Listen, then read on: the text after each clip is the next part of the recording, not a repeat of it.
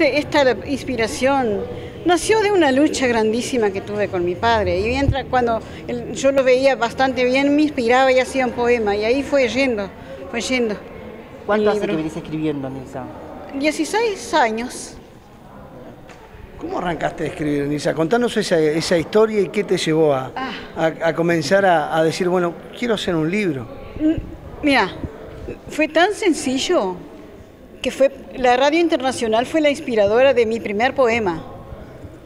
Yo escribí, eh, me regaló Rotary un reloj para no vidente y yo fui a agradecer en el acto y me emocioné porque yo nunca había pensado tener un reloj en mis manos. Pero no me salió ni una, ni una jota siquiera. Entonces después digo, ¿cómo hago? Este, esto tengo que ponerlo en un papel y mandárselo a, a Vitoriano Cabrera, que era lo único que había para, para, para exteriorizar un sentimiento con el programa de Rivera así. Bueno, lo hice. Y después me, asaltó la duda, digo, pero ahora me falta agradecerle a él porque lo hizo como que yo lo hubiera hecho. Y ahí empezó el primer poema para Radio Internacional, Coplas a mi compañera, que está en el primer libro.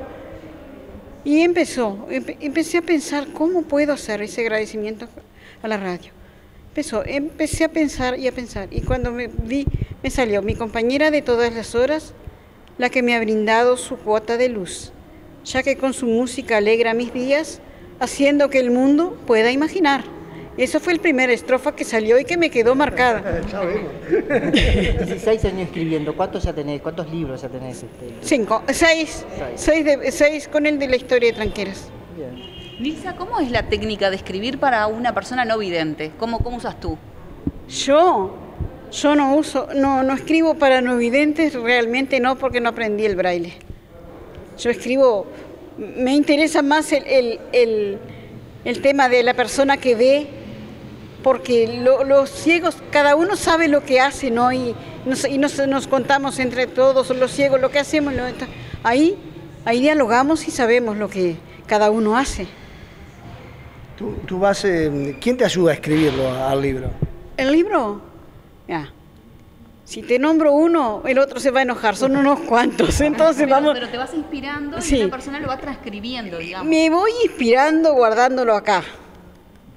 Y, tratando de, repetir, de hacerlo mentalmente y pensarlo y que no se me escape ni una, ni una frase. Y ahí cuando tengo todo el poema, pido a una persona que me ayude y ahí va yendo todo, todo el libro, así.